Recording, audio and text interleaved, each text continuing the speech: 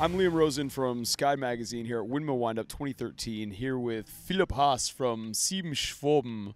Uh, Philipp, how is the tournament going for Sieben Schwaben so far? Oh yeah, the tournament is going pretty good. We're 2-2 at the moment.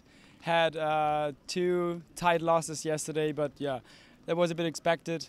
As I told you before, uh, we have a lot of new players, and yeah, was expected. So today we had a good win, and the weather's getting better, so yeah, that's Windmill.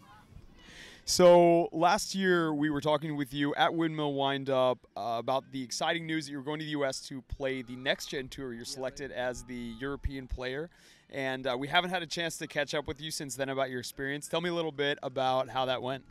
Yeah, I had a hard start because I was injured. Um, I had the Worlds week before, and yeah, the start playing was not really uh, easy for me because yeah to adapt to the physical play of the US was hard. But uh, yeah, I had a great tour, meeting nice guys, uh, and I think I saw a lot more places than many American people. Yeah, it was great.